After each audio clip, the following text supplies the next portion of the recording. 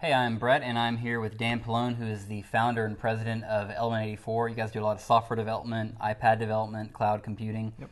I know today we're really breaking down the user service, user accounts, right, and Memcache. I think users, I think about security, authentication, realms, groups. Is that the kind of thing we're going to be getting into? Yes, it's the kind of thing we're going to be getting into, um, but by using the App Engine platform, we're not going to have to build it. And so we can leverage, you know, the established Google account, millions of Google accounts that are out there. We're going to use their security infrastructure, um, their management of, you know, is this person authorized and they Okay. forgot their password, all that kind of stuff. All we're going to care about as an application is that Google vouches that this is the user they say they are, and here's their Right. information. Okay, and then tuning. I mean, I have to admit, I think about tuning and, and, and caching, and I think of low lit rooms and guys with huge monitors that don't ever sleep and like Star Wars t shirts. I mean, how is, how is caching? Are we really going to get into it at that level? What are we doing here No, we don't have Star Wars T-shirts, um, but we're we're going to be looking at it kind of at a macro level, right? Okay. So we're going to be looking at what patterns can we introduce, what services can we use in the App Engine to, that really do make a huge difference on our application. Um, so you will be able to kind of take a look at what resources are we using. You know, how how many times are we hitting the data store? Um, how long is our round trip for the end user? What's the user experience like? And then um, we'll take advantage of the caching service to just basically, without a lot of work, introduce some basic patterns that we can use in different places in the app that make a huge difference to performance. and these patterns are they Google patterns? Are they patterns that, that, as a developer, we kind of figure out that work well in our app, or Some of the patterns are kind of just scalability patterns with that App Engine twist of how do we Okay. do this? How do we do this kind of caching or whatever the pattern was we're talking Okay. about in the App Engine? Okay, good. Well, I know we're going to start out by looking at the app we're, we're building toward, right? But um, uh, those kinds of patterns that we're finding, I'd love to have other people let us know what they're finding as they get into Memcache. You can always tweet us that kind of stuff at O'Reilly Video and uh, give us some input at wh- what's working for you. So let's take a look at the app. Okay.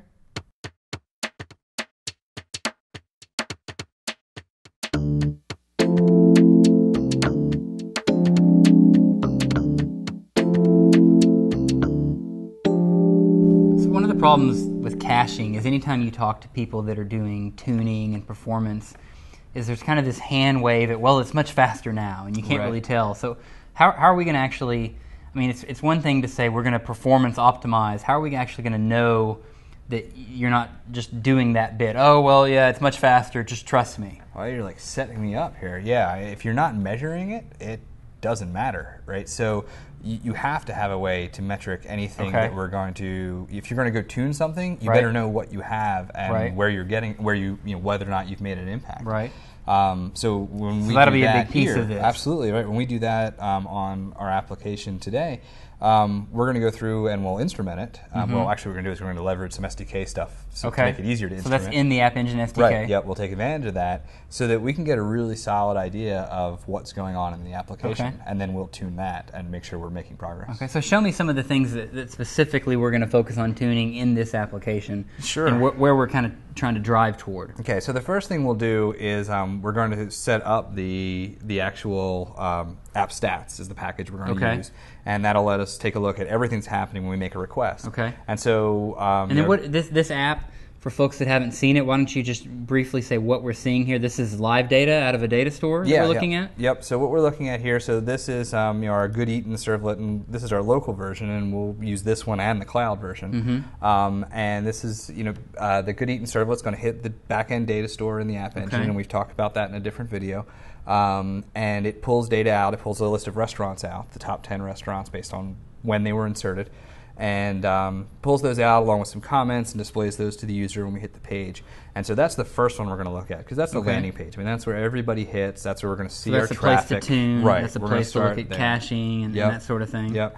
And we need to make sure we look at it not just from a raw performance perspective, but remember we're in the cloud now, where it's utility computing, right? We're paying per um, how long things take to execute, how Mm-hmm. Okay. much of a service we're consuming, and so we're going to look at tuning that and trying to get that down. So too. we're not trying to to lower just the overall load time, but actually figure out like how can we optimize our database. Right. I guess either queries or fetches and result sets. What other improvements are we making to this thing? So um, once we get some performance under our belt, um, we want to look at kind of personalizing a little bit more. So we're going to add a sign-in capability, Okay. um, which is going to leverage the Google um, App Engine user service, which gives us basically gives you access or you know, allows any of the millions of existing Google users to sign in and out of your application without having to create new accounts or anything Okay. like that. Um, we're going to take advantage of that. We're going to update um, our JSPs a little bit. Um, we're going to talk about the local um, hosting environment and how to fake accounts.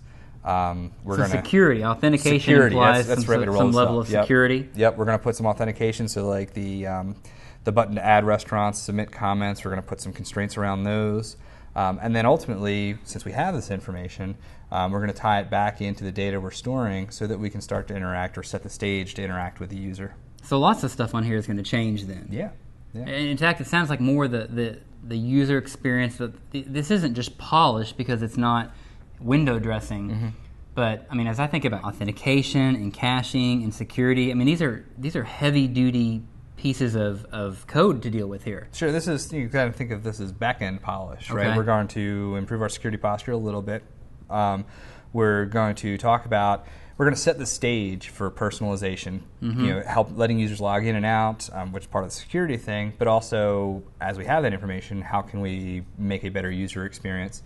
Um, and then, from a performance perspective, again, user experience, but also reducing our backend costs. And this is all using the App Engine services. absolutely. Yep. All right, I want to see it. Right.